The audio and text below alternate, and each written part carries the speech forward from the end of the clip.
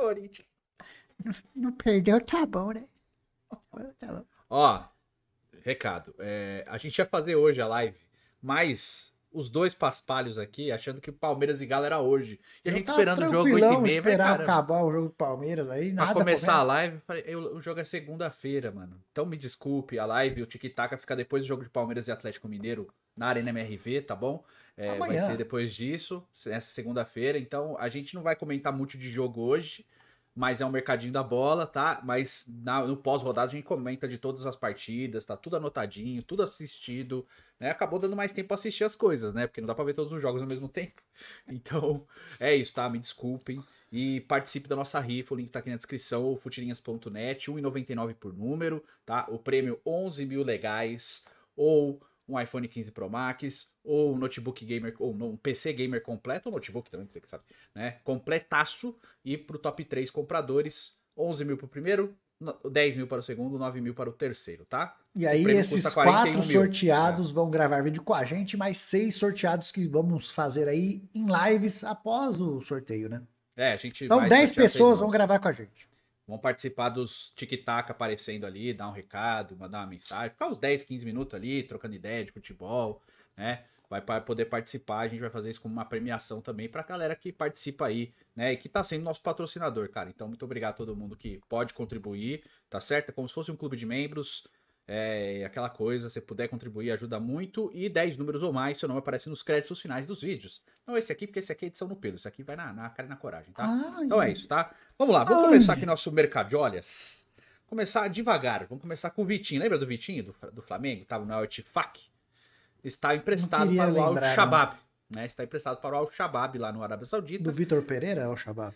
É, e aí o Al-Tifak vai botou ele na lista de transferências para abrir uma possibilidade de contratar um outro estrangeiro pro lugar dele. É, com mais Então- nome, né? Porque É, exato. O Vitinho pode voltar ao futebol brasileiro. Ou vai ficar ali em outros times da, da Arábia Saudita. Mas é um nome que está na lista de transferências. Vem Você Cuiabá. gostaria Vem dele de Cuiabá. volta no, no, no seu time, Pepe? Ele Jogar de novo? no no meu? Flamengo, gostaria. Vem pro Mengão, Vitinho. Vem pro Mengão ser feliz. Mas vai provavelmente fazer o mesmo caminho do Romarinho, cara. Jogar no time da segunda divisão ali do futebol da Arábia Saudita, né? O Romarinho Por "Ai, que não um Brasil." Botafogo? Botafogo, Tá Botafogo. boa pro Botafogo. Botafogo tá pensando em Vitinho, pô. Botafogo tá pensando em Thiago Almada. É outra parada. mas eles têm que compor elenco. Pra acho que compor elenco Vitinho- com o Vitinho? Porque que eu é não acho o Vitinho ruim terrão, desse né, jeito, meu? não, viu, cara? Acho o Vitinho bo- até bom Ele jogador. ficou muito marcado porque, né, no Flamengo a expectativa era muito alta, pagaram muito caro, né? Então, Sim. Mas, já que falamos em Botafogo, Botafogo, campeão. Thiago Almada tá muito forte aí de fechar com o Botafogo pra essa janela de transferência, sim, cara. Olha a contratação. É o líder do Campeonato Brasileiro. O Botafogo voltou à liderança do Brasileirão, Quem jogando diria? muito bem, vencendo fora de casa, graças ao empate. e vencendo bem o Grêmio. O, o Grêmio mandou o jogo no Espírito Santo, eu ainda não entendi porquê. O jogo foi em Cariacica. Não Hum. entendi por que mandar o jogo no Espírito Santo, porque, obviamente, no Espírito Santo terão muitos torcedores mais do Botafogo outra do, que do, do que do Grêmio, né? Mas, enfim. Os caras vieram Vai lá. jogar em Barueri, nada a ver com nada. É, foi o Internacional O que mandou Inter. o jogo em Barueri, né? Mas, enfim, o Botafogo não tem nada com isso. Foi até Cariacica e venceu o Grêmio por 2 a 1 E está aí com o Thiago Almada a, a vias de fechar com o clube, né? Fora que o Botafogo, Botafogo, Botafogo, tá de olho no Felipe Coutinho, na situação do Felipe Coutinho em relação ao É, Vasco. porque os caras pedem salário e o Vasco fala: ah, meu, vocês estão pedindo demais, meu. Quer trazer os parça pra jogar aqui nas minhas custas? Nós já tá uma situação lamentável. Você ainda quer, Coutinho, trazer parça encostado pra jogar aqui? Vai pro Botafogo, Coutinho. Botafogo, Botafogo. Já pensou? O Pedrinho fazer, vai lá pro Botafogo, Botafogo. Cê é louco. É. Vasco da Gama, Vasco da Gama. Desde 1910. Bom, vamos lá falar de Parmeira agora, Rafael. O que, que está acontecendo com o nosso Meu? Deus do céu, que novela chata, hein? Será que ó, nessa segunda teremos novidades do caso? Do Vai, não vai, vai, não vai. Que negócio, que, que negócio é esse? Vai de Ô, bet? Mas o Dudu também, pelo amor de Deus, hein? Graças O a Cruzeiro, Deus. né? eu não acredito que o Cruzeiro ia chegar ali, né? Fazer a, todo aquele. as postagens nas redes sociais. O, o maluco lá, como que chama mesmo? O- Alexandre Matos. O Alexandre Matos fazendo stories, divulgando a contratação do Dudu. Uhum. E aí, do nada, ah, eu vi as redes sociais e já tava gostando. Não, ô Dudu, ele viu adorar. Adorar você sair do Palmeiras para ir pro Cruzeiro. Você foi surpreendido, Dudu. Quem poderia imaginar que a torcida do palmeirense ia ficar Palmeiras ia ficar revoltada, né, Dudu? Pelo amor de Deus. Isso é Mas de aí- moleque também. É aí o que eu falo. A gente faz o vídeo aqui, Dudu é do Cruzeiro. A É. gente fez depois do Cruzeiro ter anunciado Nas o acerto sociais. com o Dudu, né? Aí o, O cara Alexandre vai lá e fala, Matos fez "Cê- stories, gente. Não, velho. Aí o cara vem aqui nos comentários e fala: Você tá mentindo. Eu falei: Não tô mentindo. Alguém está mentindo nessa história, mas não sou eu. Né? Então vamos lá, vamos, vamos explicar. Segundo Alexandre Matos, que é o dirigente, dirigente do Cruzeiro, o Dudu procurou ele. Foi o Dudu que procurou ele, falando, né, de que tava procurando um negócio Pior ainda. carreira dele, não sei o quê. E que a partir dessa conversa com o Dudu, que o Cruzeiro foi atrás e tentou fazer essa contratação. A contratação giraria na casa de 14 milhões de reais. Por quê? Porque o Palmeiras teria que passar uma parte do valor da compra do Maurício, que está sendo contratado pelo Palmeiras, ao Cruzeiro, que é o formador. E aí o Cruzeiro liberaria dessa transferência e pagaria só a diferença para contratar o Dudu. Seria mais ou menos 14 milhões de reais, tá? Nessa brincanagem toda. O Dudu também teria um acréscimo de 300 mil no salário mensal, ou seja, o Dudu passaria a ganhar 2 milhões e meio por mês, porque ele ganha 2,200 do Palmeiras, 200. né? E o contrato seria de quatro temporadas, mais uma possibilidade de mais uma temporada, dependendo do desempenho dele. Ou seja, o Dudu teria estabilidade de 2,5 por mês, né? 30 milhões de reais, 25 A gente fez as 30 contas aqui, dava 100, dava 100, Não, 100 então, milha 20 dos quatro anos. 2,5 por mês dá 30 milhões de reais por ano, né? 30 milhões de reais por ano por quatro temporadas garantidas. 120 milhões de reais, mano. Né? Enfim, o Dudu, pelo jeito, depois da comoção da torcida do Palmeiras, uns muito Ah, revoltados, cara, outros que- tristes. O que, que ele achou que ia enfim. acontecer? Exato. Ele conversou com a diretoria do Palmeiras, foi treinar nesse domingo, né? Porque o Palmeiras joga nessa segunda-feira. Conversou com a diretoria do Palmeiras e com o Abel Ferreira e decidiu por continuar no clube. Mas parece que essa situação ainda pode ser revertida com uma ida ao Cruzeiro mesmo. Não Será se que sabe ainda. Por enquanto ele não sai. assinada? É, por enquanto ele não sai. É, outra coisa que eu Você vi não acha é que, o Cruzeiro ia anunciar sem falar com o Palmeiras, sem ter nada definido? É, então. Uma coisa que eu vi também é que existe um rumor que tem um- uma rixa entre Abel e Dudu também no Palmeiras. E por causa dessa rixa, o Dudu queria sair. Tá? E que eles conversaram, se acertaram e aí o Dudu vai continuar. Agora sim, eu queria entender como que o Dudu chegou numa rixa com o Abel sendo que ele não tava nem jogando. Qual que é Ué, o vai ver que o Abel cortou as regalias do DM lá? Bom, comprou ban- pediu pra comprar band-aid mais porcaria, ele não gostou.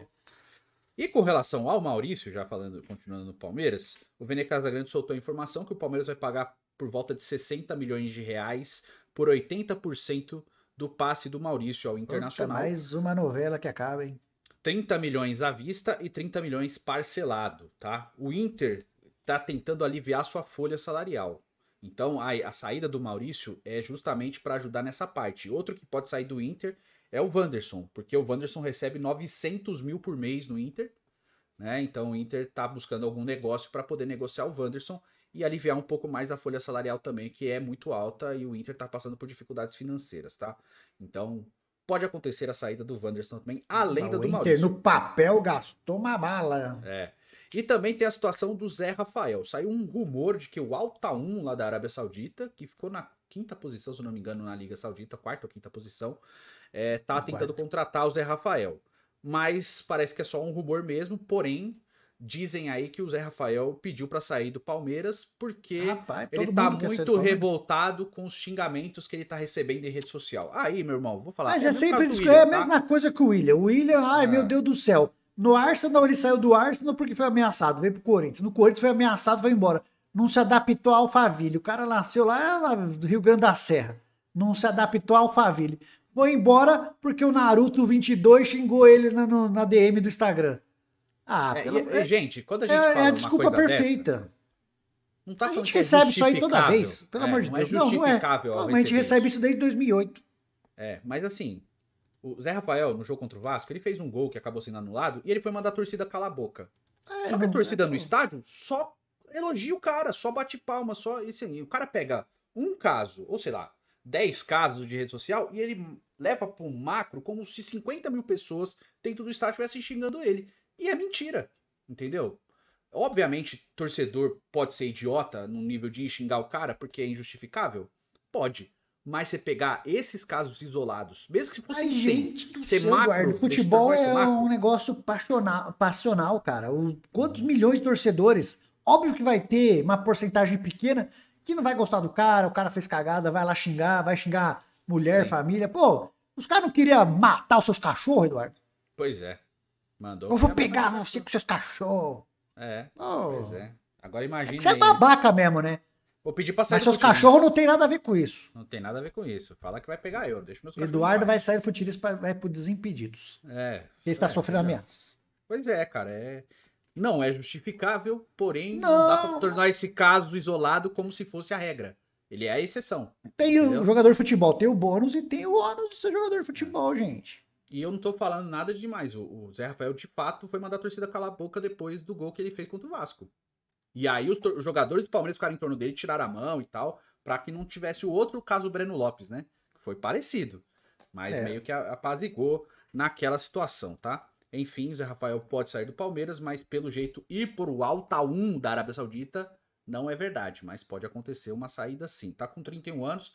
Até acho que o Palmeiras pode fazer um negócio com ele, né? Visando outras contratações. Acho que a chegada do Maurício é para isso mesmo. A do Felipe Anderson também. Já tem um processo em reconstrução. O que a gente só estranha é ele ser feito no meio da temporada e não no começo.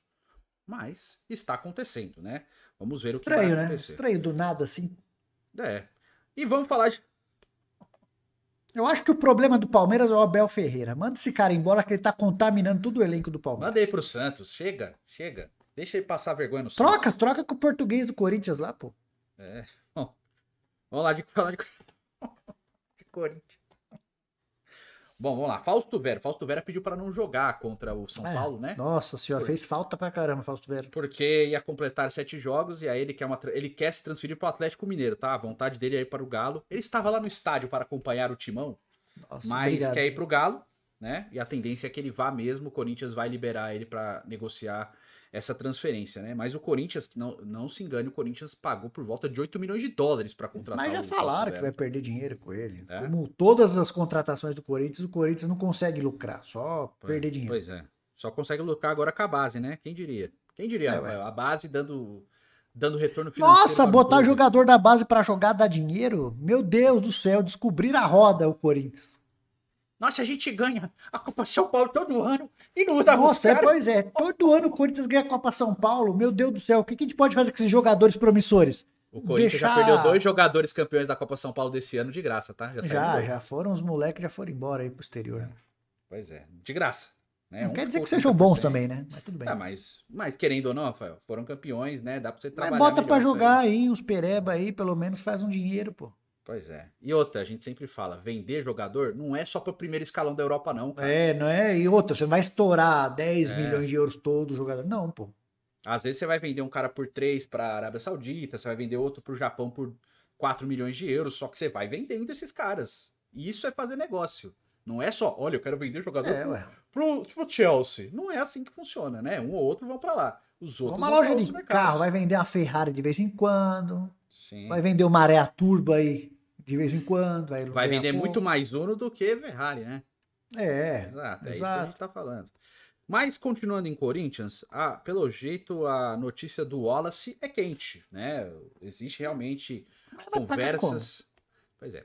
Existem realmente conversas por parte do Corinthians em tentar trazer o Wallace, né? Mas também o Flamengo também tem interesse no Wallace, porque existe a possibilidade Pulgar vazar. do Pulgar ser negociado e o Wallace seria cair como uma luva ali, né? Na situação ali do, do Flamengo também. Então, há interesse dos dois. E, obviamente, se o Flamengo entrar no negócio, o cara só vai pro Corinthians se ele quiser ir pro Corinthians.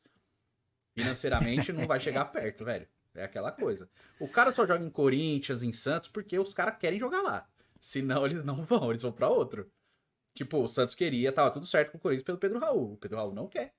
Então não vai. Entendeu? É isso. É, é isso, cara. E a gente tem que entender, tá? E vamos falar do goleiro Santos também. Saiu no último mercadinho, tá falando que o Santos estava negociando com o Santos, né? Porém, o Corinthians continua nessa disputa aí e pode ser que ele vá pro Corinthians. Eu acho que é aquela coisa. só vai pro Santos se quiser. Nesse caso, o cara prefere jogar a Série A pelo Corinthians, né? Então, ele iria pro Corinthians. E acho que seria titular, né? Mas eu acho que seria, tem que ser a mesma aquela coisa. Olha, Santos, você tá chegando aqui, contrato é tá, até final do ano que vem, mas você vai disputar a posição com o Donelli. Você não é titular absoluto, não. Tá? Vai disputar a posição. Ah, Quem tiver melhor, joga. É, Mas, na né? prática, né? No mundo No mundo ideal. bonito, sim, mas não, né? Vai vir pra jogar. Pois é.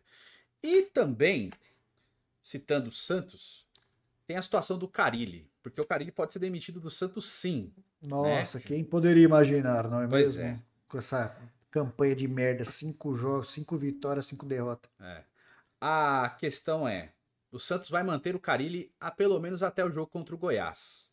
Dependendo do resultado, é demitido. Aí eu te pergunto, estava falando com o Pepe antes da gravação, inclusive. Se você, se o cara perder, ele vai ser demitido? Por que se ele ganhar, ele vai ser mantido? Porque se já você, se você tá com esse papo, se perder cai, é porque você já não confia no trabalho do cara. E quando a gente falou lá no começo, lá falou assim, ó, trazer esse cara, tirar lá do Japão, pagar a multa rescisória, esse cara não vai encaixar para um time que tem que mandar em jogo na Série B, tem que ser ata tem que atacar, não vai dar para jogar reativo, é exagero, tal. Então, o Paulista funcionou e a gente elogia quando dá certo, aí. Tá funcionando. Quando para de funcionar, a gente fala, ó, Ah, o senhor, ah, eu já fiz o sua, a Hum. sua foto de fritura de técnico. Todo técnico do Santos você frita, cara. Você é um sem vergonha, safado. Você começa elogiando os três quem que é o primeiros jogos. do Corinthians? Três primeiros jogos, o senhor elogia, fica Não, velho, feliz, tá estou bom. Hum. carelizado, estou dinizado, o dinizismo no Santos. Hum. Passou, passou o oba-oba, o senhor joga na fritadeira, sabe aquela lá do McDonald's, do- da batata? Hum. É o senhor. Vamos, vamos falar do senhor, então. Qual que é o técnico atual do Corinthians? É aqui o Tonhão. Você quer que ele saia do, do Corinthians? Mas óbvio. Qual que era o técnico anterior do Corinthians? Mas eu não fiquei empolgado com o Tonhão. Qual que é o técnico anterior do Corinthians? Todos que eu mandei embora. Tá bom, então. Mas eu não elogio no começo, igual o senhor fica todo. Ah, as Você tetaduras. elogiou, você elogiou. Com as tetaduras. Ai, sim. Carilli. Ai, obrigado, Gil. Obrigado, Juli... pelo Juliano. Você Ah, elogiou. trouxa. O senhor agrade... Ah, Ai, o Camágico. Ai, no Santos é o Camágico. Obrigado, Corinthians. O senhor Trouxa. elogiou Antônio Oliveira, sim. O senhor tomou outra mijada na cara do Fluminense lá, ó. Te marquei, o senhor fez que nem viu. Não, vou falar de Fluminense. Fala dele agora, Eduardo. Vou O falar de senhor, Fluminense. o senhor fez vista grossa. Eu vou falar de Fluminense. Ah, é já, porque já. a proporção do estádio. Ah, agora, vai lá, Na Eduardo. Vila Belmiro teria enchido. 13 Teria nada. pessoas. 13 mil pessoas. Na Vila Porra, cabe então 14. bota lá no Bruno Daniel, lá em Santo André. pô. É. Na Vila Belmiro teria enchido. Então a proporção seria diferente. Mas Campeão 13 da mil- América botar aquilo ali dentro do 13 estádio. mil, não, Você não, é não. maluco. É, foi o pior público do Fluminense desde 2019, se não me engano. Mas enfim, é, pouco. Pelo e outra, de nada Deus. justifica também a torcida não comparecer. Nessa hora que tem que comparecer mesmo, né? Não. Mas. A do enfim, Corinthians tá uma bosta. Tava cheio. 46 lá. mil pessoas, né? É, exato. Exato. Esse é o ponto. Todo É, mundo dando falo de como certa a derrota pro São Paulo, por exemplo. É. Tava cheio. Quando, quando eu falei de proporção, não é contando 13 mil pessoas, tá falando de 25, 30, e no estádio pra 60 realmente fica vazio. Mas no estádio pra 40 fica mais cheio. É isso que eu tava falando, não pra 13. né, Defende gente? essa, essa torcida aí que não apoia o próprio time. Pois é. E outra, né? Teve briga lá, mas a gente fala disso no, no pós-rodada, né? Falaram que só não encheu porque não tinha show do Sorriso Maroto dessa vez. Bom, vou falar aqui também do Gabigol. O Cruzeiro vai insistir em tentar contratar o Gabigol nessa janela de transferências, tá? Ah, isso é uma e, boa. gente, que vocês falam impossível, não é impossível, não, cara. Vai ser de graça. Ele vai sair Não do é Flamengo. Se impossível. ninguém comprar, ele vai ele só pagar o salário. O Flamengo vai liberar por algum valor que o Cruzeiro oferecer. Se iam pagar mais que o Dudu ganha no Palmeiras, vão pagar pro Gabigol. Pois é, cara. Se, se oferecerem o contrato do Dudu para o Gabigol, Ele aceita. vai. Ele aceita hoje.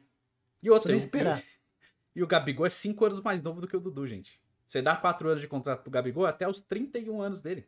Se pagar pro, pro Flamengo que iam pagar pelo Dudu pro Palmeiras, o Flamengo libera agora e o, Dudu, o Gabigol vai embora. Eu também acho. Também acho que vai acontecer, cara. Eu acho que é bem possível mesmo.